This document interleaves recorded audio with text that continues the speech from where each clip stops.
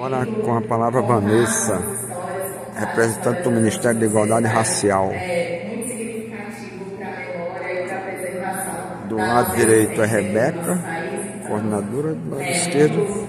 É gratificante poder compartilhar essa mesa com a senhora. Quero cumprimentar também a Professora Angélica, do lado esquerdo, do lado direito Rebeca em Menezes. sociologia, também na Universidade de Brasília,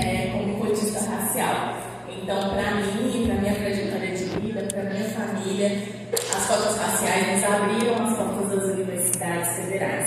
Esse sonho que, para uma menina do interior, uma menina negra do interior, era algo muito distante, improvável, se tornou possível a partir é, dessa possibilidade que as cotas raciais têm garantido às pessoas negras no Brasil.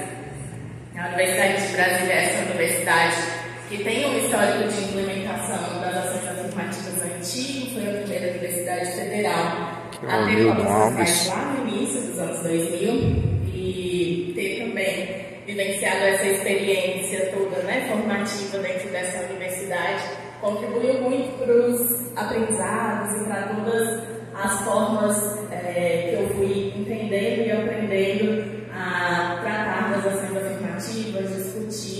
e falar sobre ações afirmativas no país. Eu sou servidora efetiva do quadro